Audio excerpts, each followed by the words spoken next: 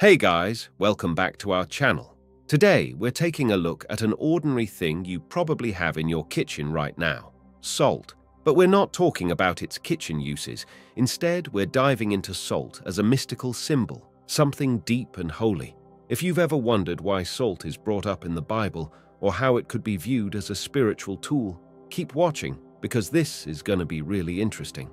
Now, we're going on a journey back in time to the Old Testament, specifically to the book of Leviticus. It may not be your top pick for a bedtime read, but stick with me. In Leviticus chapter 2, verse 13, God gives a pretty specific command season all your grain offerings with salt, and don't leave out the salt of the agreement of your God from your grain offerings. Put salt on all your offerings.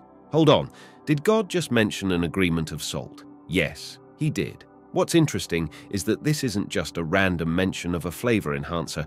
The importance of salt in old times was huge. It wasn't just about making food tasty, it was about keeping things fresh. Salt could stop things from going bad, making it a really valuable item. And in the context of the Bible, its importance wasn't just in keeping food from going bad. Did you know that salt symbolizes something constant and unchangeable, a thing that can endure the passage of time, a promise?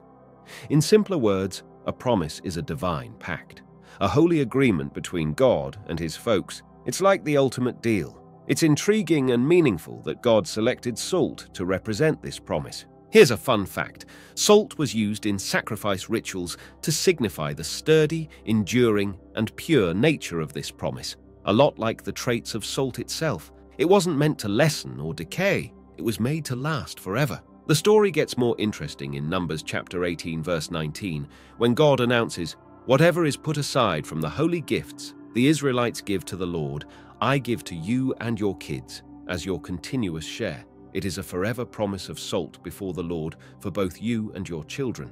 Did you notice? A perpetual promise of salt. God is openly saying that this promise, symbolized by salt, is supposed to be eternal, not just for the folks of that time, but for all future kids. So, the question pops up why salt? Why not gold or any other valuable stuff? Unlike gold, which can be melted, or silver, which can rust, salt stays the same. Salt's steady, it stays the same, and when it's pure, it doesn't change. This makes it a great symbol of God's promises, which are strong, lasting, and trustworthy.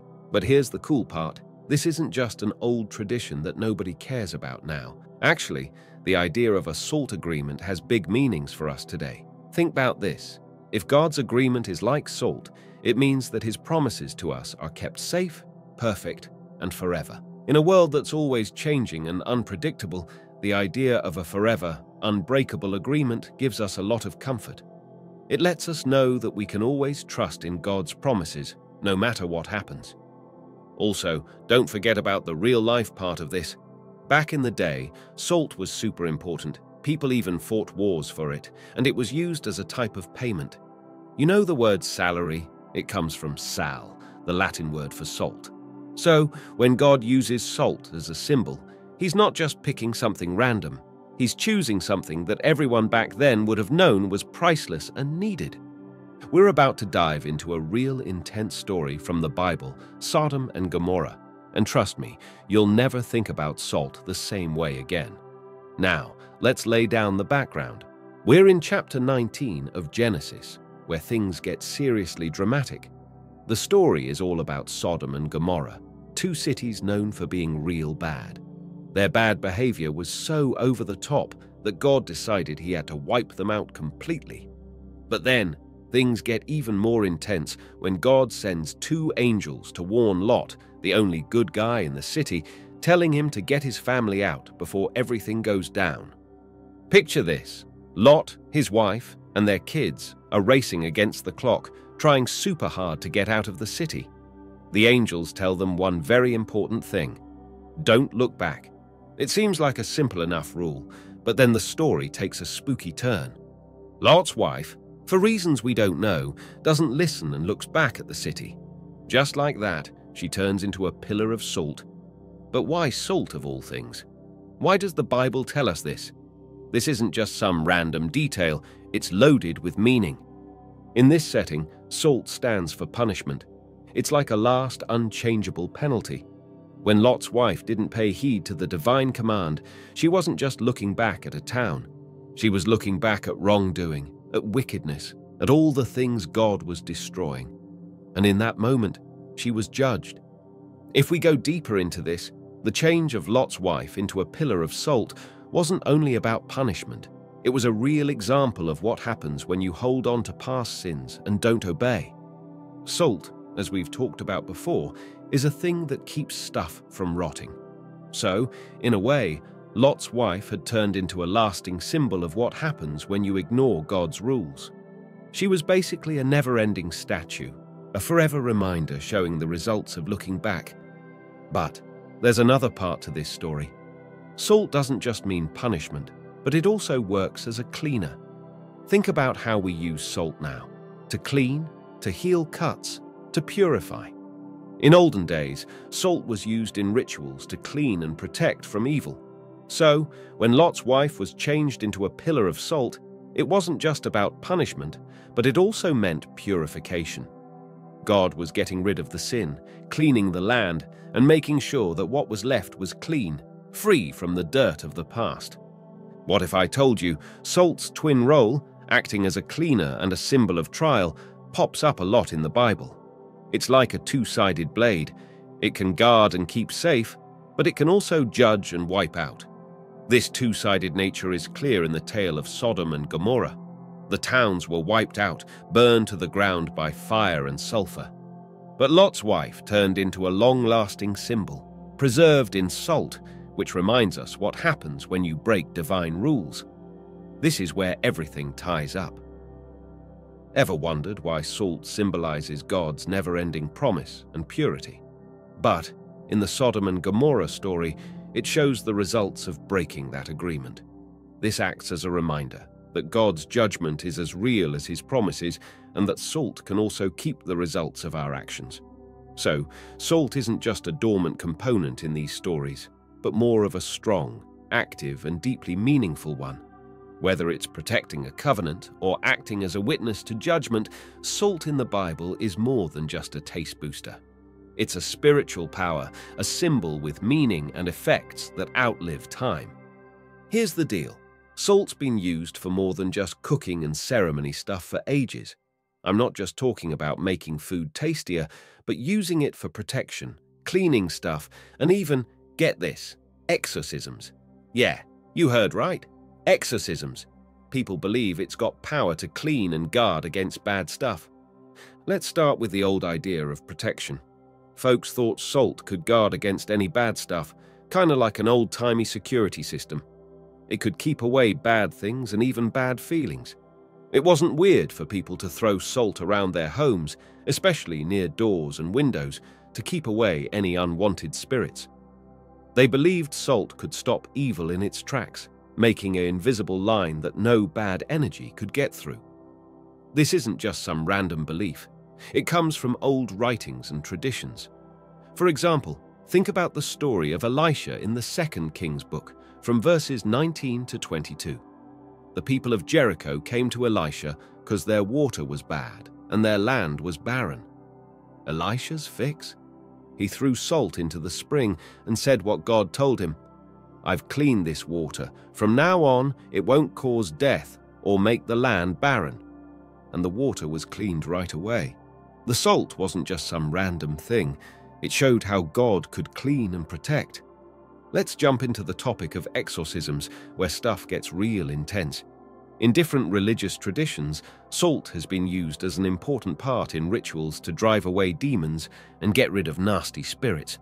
The thinking's pretty simple. If salt can clean and guard, then it should be able to kick out the bad, right? Salt's often mixed with water to make holy water, which has been a big player in exorcisms and blessings.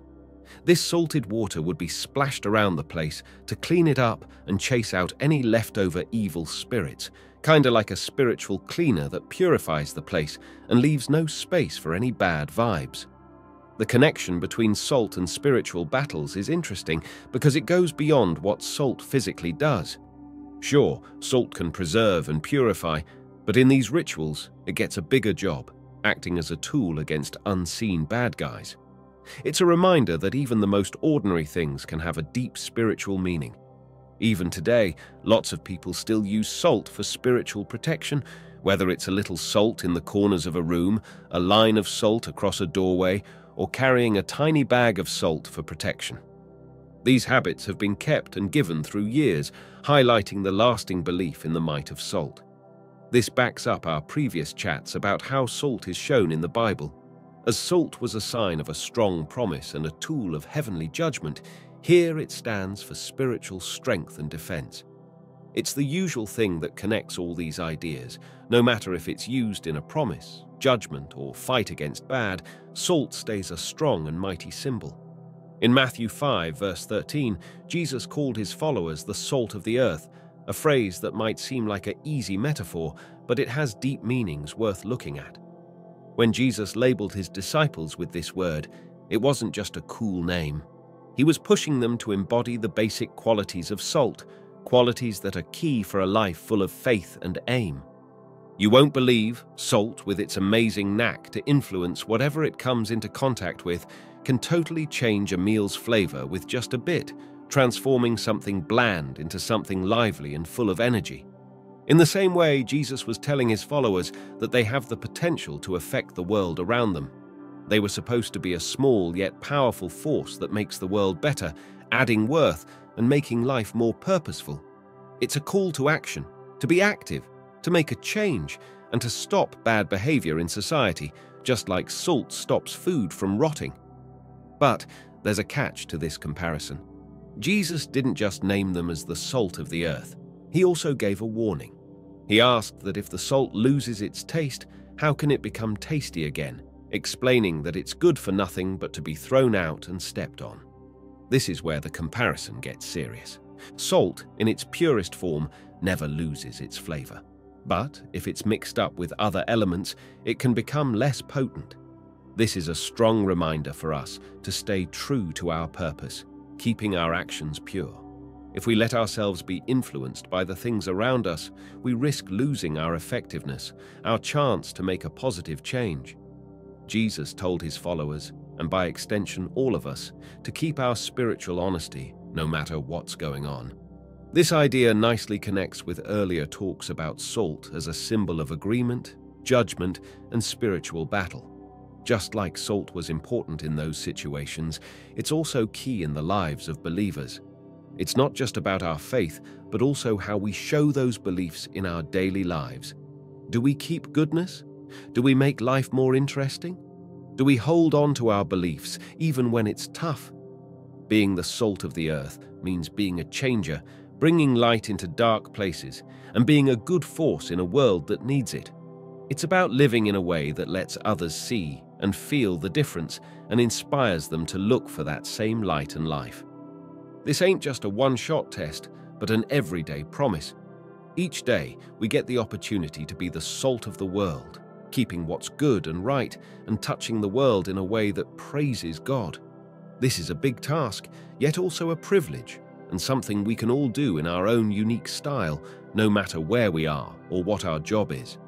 We're grateful for your ongoing involvement as we explore the secret Christian truths about salt.